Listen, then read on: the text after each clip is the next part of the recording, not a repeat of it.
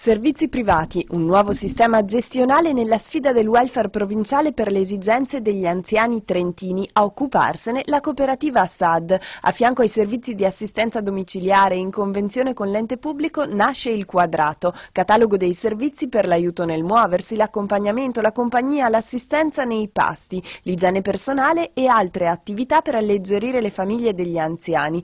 Tutto è partito a fine 2012 quando il sociologo Nadio Delai ha presentato presentato dei dati che dicevano chiaramente che a questi ritmi di sviluppo demografico la gestione della vecchiaia in Trentino sarà emergenza, con sempre minori risorse pubbliche e famiglie sempre più povere.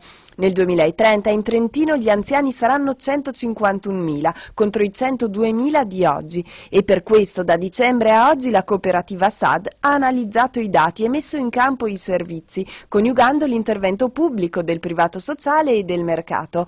Quello che ci aspetta, a conclusione concluso il sociologo dell'AI, è in realtà un grande trasferimento di operatività dal pubblico al privato, sotto qualsiasi forma.